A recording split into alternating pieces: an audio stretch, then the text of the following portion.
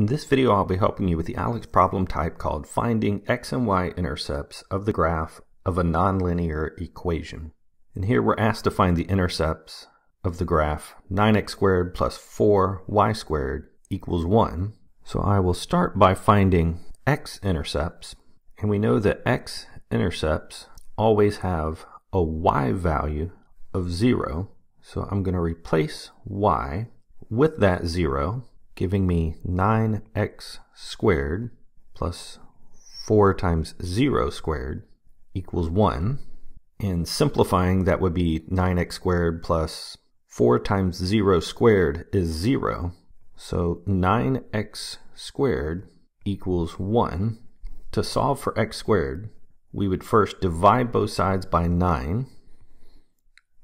So x squared equals 1 ninth and then to solve for x, we can take the square root of both sides. However, recall that when you take the square root of a variable being squared, there are two possibilities, either a positive or a negative x, with the square root canceling the square, equaling here the square root of 1 is 1 and the square root of 9 is 3. So positive or negative x is 1 third. That means x can be either one third or negative one third. So now that we've found our x values, substituting them in, we have two x-intercepts. We have a positive one third zero and a negative one third zero.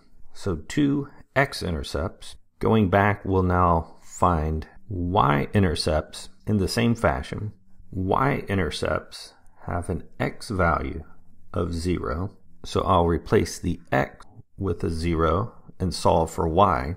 So I would start with 9 times 0 squared plus 4y squared equals 1.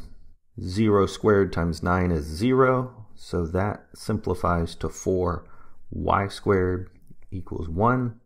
Dividing by 4 on both sides to solve for y y squared equals 1 fourth. Again, to solve for y here, I would take the square root of both sides, remembering that while we cancel the square root and the square, we have a plus or minus y equals the square root of 1 fourth, and the square root of 1 is 1, the square root of 4 is 2.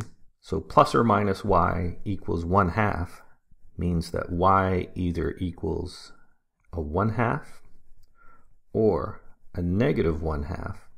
So we found two y-intercepts as well.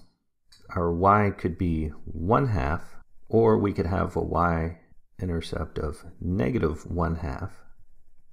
So for this example, we also have two y-intercepts. So we have found all the possible x and y-intercepts for this example.